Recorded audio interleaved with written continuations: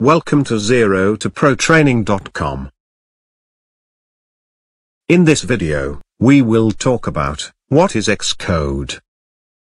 Xcode is an integrated development environment, or IDE, created by Apple. It contains a suite of software development tools used for developing OS X and iOS software. It was first released in 2003. It is available via Mac App Store, free of charge. Registered developers can download preview releases and previous versions of the suite through the Apple Developer website.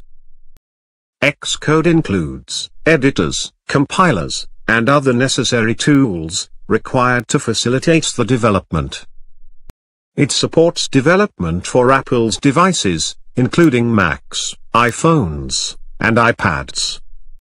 The Project Builder IDE was rewritten. For a while it was called PBX. Xcode is designed to operate best as a single window interface. It has excellent support for version control, using either the Git or Subversion version control system. It provides a consistent user interface for both systems. Xcode is a rich and powerful environment for developing code, for use on Macs, and Apple mobile environments.